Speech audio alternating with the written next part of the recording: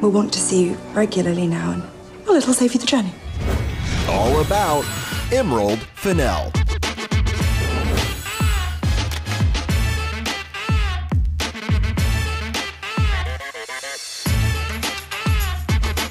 Fairy tale always prevails.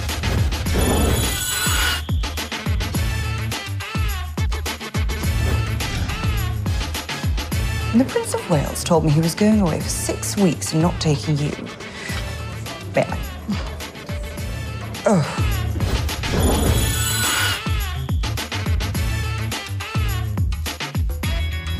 And then I like to finish always with a little dab of gloss just to give it a kind of wet texture.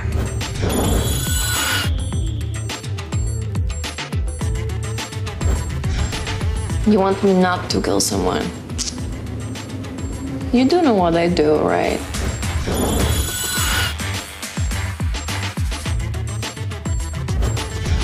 I'm not sure my nerves can stand another elixir at this moment.